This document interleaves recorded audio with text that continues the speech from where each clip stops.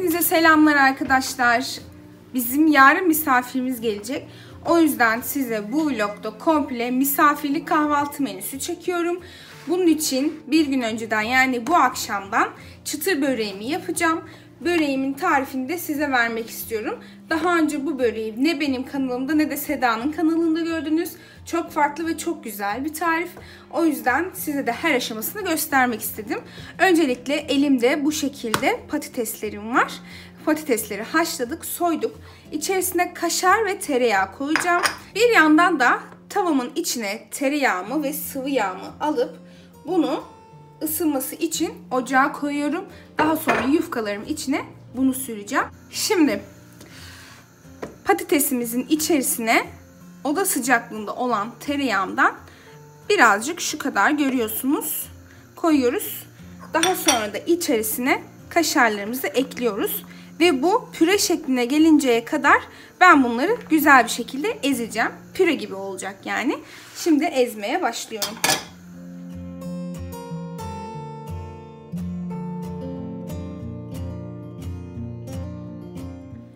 Gördüğünüz gibi bunu bu şekilde püre kıvamına getirdim. İçerisine tuz ilave edeceğim. Böyle bir tatlı kaşığı tuzumu ilave ediyorum. Tekrardan bir karıştıracağım. Ondan sonra artık hazır olacak iç harcımız. Şimdi yufkamı bu şekilde masanın üzerine güzelce yaydım. Şimdi üzerine bu tereyağı ve sıvı yağla yapmış olduğum karışımı güzelce yağlıyorum şu şekilde. Her yeri yağlanacak.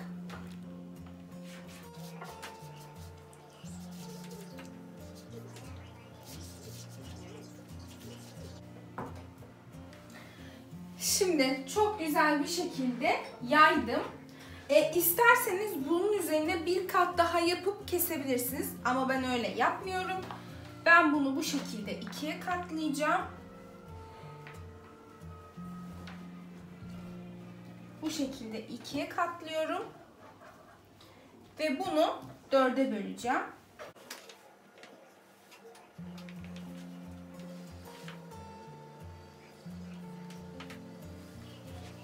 Şimdi gördüğünüz gibi dörde böldüm. Hazırlamış olduğum harcı içerisine yayıyorum.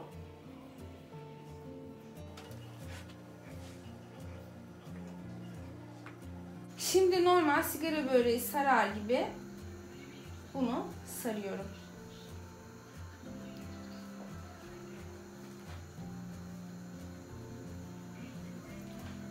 Bu uçlarını da yine o yağdan sürüp kapatabiliriz.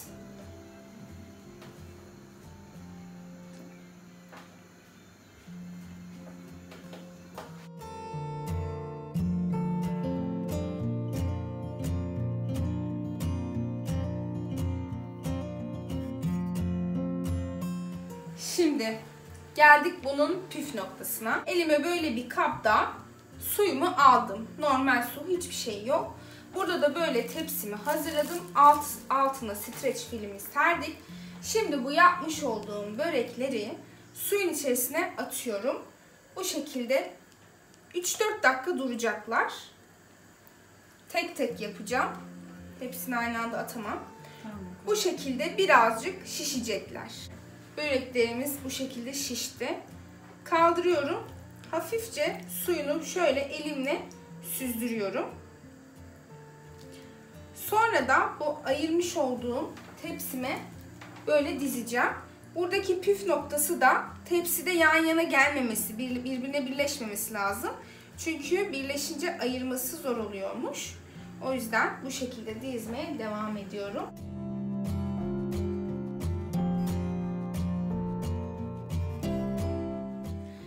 Şimdi böreklerimizi ısladık, sudan çıkardık, tepsimize dizdik. Yarın bu tepsilerini alıp pişirme tepsisine koyacağız. Şimdi bunları buzluğa götürüyoruz. Buzluktan yarın çıkartacağız. Üzerine yumurta sarılarını dökeceğiz. Üzerine susamlarını dökeceğiz. Buzlu bir şekilde direkt fırına atacağız. Zaten yarınki aşamalarını da göstereceğim. Şimdi ben bunları hemen buzluğa atıyorum. Sırada etimek tatlısını yapmak var. Şimdi hemen ona geçiyorum. Şimdi etimek tatlısı yapımına geçiyoruz. Annem karamelini yaparken ben de muhallebisini yapacağım bir yandan da. Şimdi anne sen istersen karameline gerekli olan malzemeleri söyle. 2 bardak şeker, 2 bardak su. Karameli bu böyle oluyor. Şimdi ben yaparken göstereceğim zaten.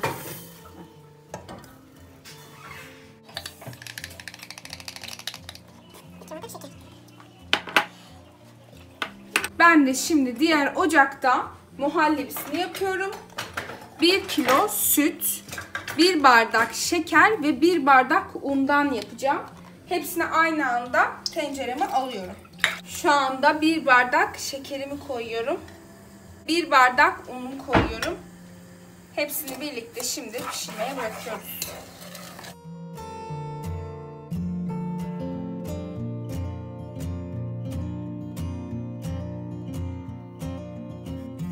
Şekilde karamel haline getiriyoruz.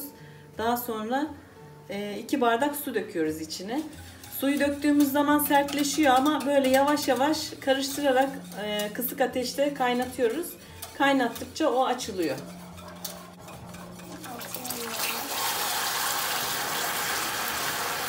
Bakar mısınız nasıl sertleşti? 2 bardak şekere 2 bardak su. Şimdi sıcak sıcak etimeklerimin üzerine dökeceğim. Etimekleri bu şekilde e, bizim büyük bir cam borcamımız var. Onun içerisine dizdim ben. Bu büyüklükte bir borcama. Bir paket etimek yeterli geliyor zaten.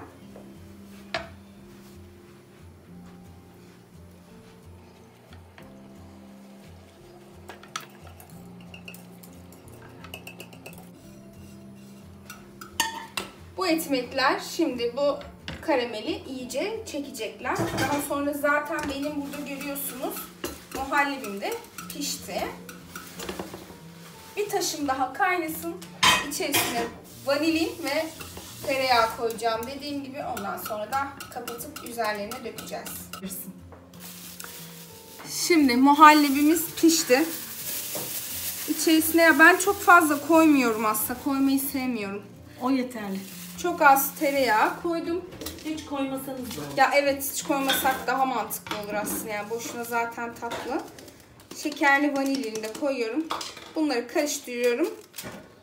Ve muhallebim hazır. Gördüğünüz gibi etimeklerim o karameli çekti. Muhallebiyi üzerine döküyorum. Bismillah.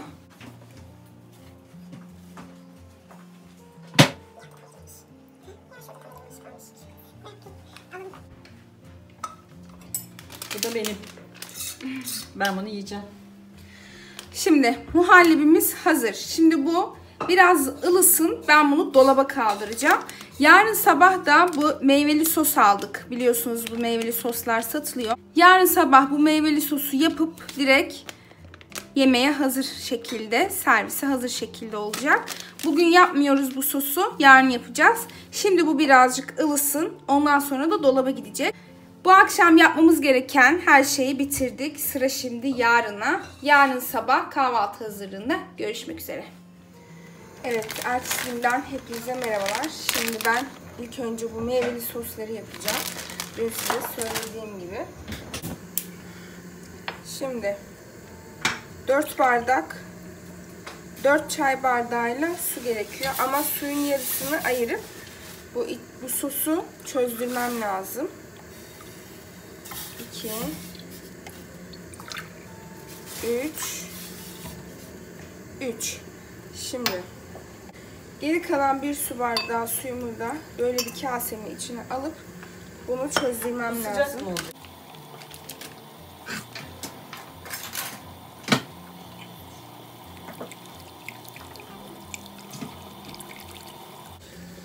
Suyumuz kaynadı. Bu hazırlamış olduğum sosu içerisine dökeceğim.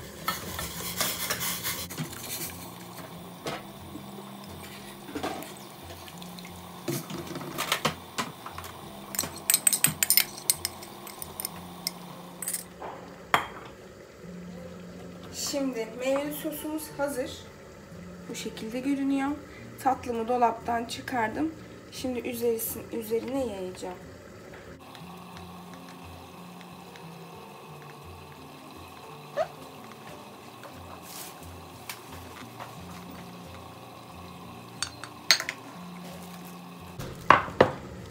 Evet sosu da yaydık. Çok güzel görünüyor. Birazcık ılısın. Sonra tekrardan bunu dolaba koyacağım. Hazırlıkları kısa bir mola verdim. Kahvaltımı yapıyorum. Burada da suyum var. Annem bir de biber kızartmıştı. Bir de onu ben yemeyeceğim o misafirler için. Görüyorsunuz bir sürü çeşit var ama ben yine de kahvaltımdan ödün vermiyorum asla. Diyetim önemli. Şimdi dün akşam yapmış olduğum bu börekleri çıkardım. Üzerine yumurta ve susam koyacağım ama şöyle ki yumur, bu buzlu olduğu için yumurtaları sürer sürmez hemen üzerine susamları gezdirmem lazım. O zaman hadi başlayalım.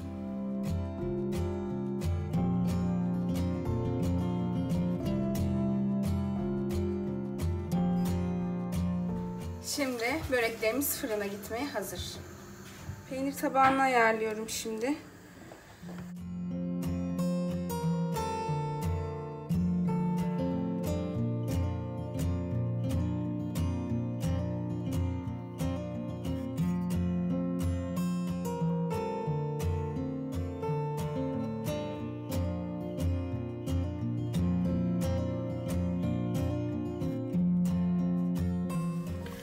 Peynir tabağımız hazır. Kaşar peyniri, topi top. Bu ne peyniriydi ya? Çubuk peynir. Çubuk peynir, beyaz peynir ve şurada da köy peyniri var. Ortasına da salatalık ve domates koyduk. Böyle yemyeşil bir kahvaltı tabağı oldu. Şimdi sıra pankek yapmakta. Hemen pankekimi yapıyorum. 2 adet yumurta,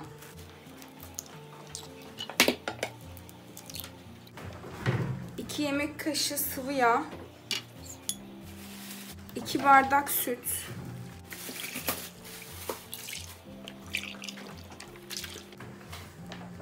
bir çay bardağından biraz eksik şeker, bir paket kabartma tozu, bir paket vanilya koyacağım. Sonra da unla karıştıracağım ama şunları öncelikle bir çırpmak istiyorum. Unumu ilave edebilirim artık.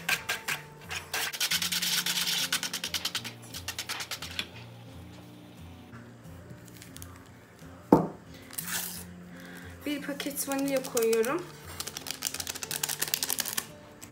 Bir pakette kabartma tozu ilave ediyorum.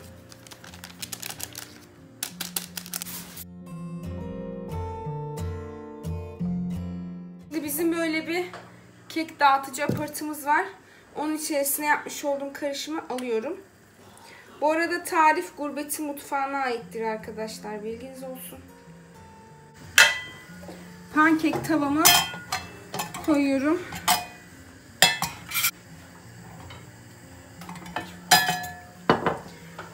Tavamı çok az yağladım.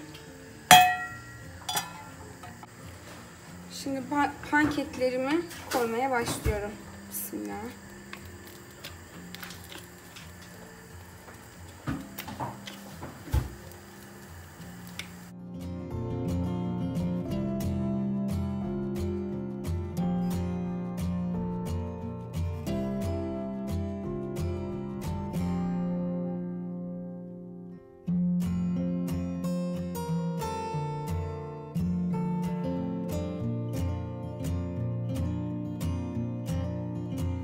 Pankeklerimiz de pişti.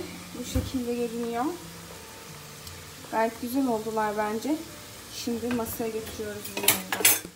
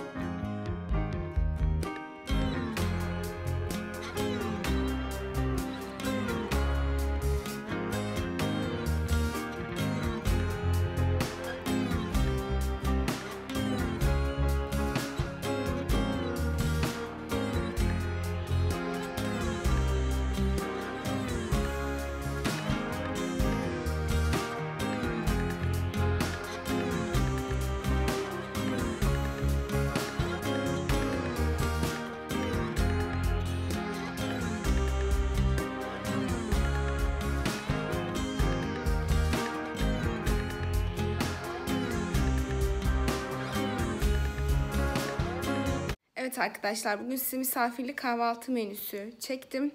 Daha doğrusu annemle birlikte yaptık. İlk defa böyle bir video ile karşınızdayım. Umarım beğenmişsinizdir. Bu tarz videoların benim kanalımda olmasını istiyorsanız lütfen bana yazın. Ben de daha sık çekmeye çalışırım. Çünkü normalde biliyorsunuz ki böyle yemek çok fazla çekmiyorum. Günlük vlog tarzında videolar çekmeyi seviyorum. Ve siz de onları sevdiğiniz için öyle yapıyorum. Ama dediğim gibi eğer isterseniz bu tarz kahvaltı veya yemek hazırlığı videoları gelsin. Bana yazarsanız ben de bundan sonra çekmeye çalışırım. Umarım videomu beğenerek izlemişsinizdir. Umarım size fikirler olmuştur. Ee, yarınki videoda görüşünceye kadar beğenmeyi, kanalıma abone olmayı unutmayın. Başka videolarda görüşünceye kadar şimdilik hoşçakalın.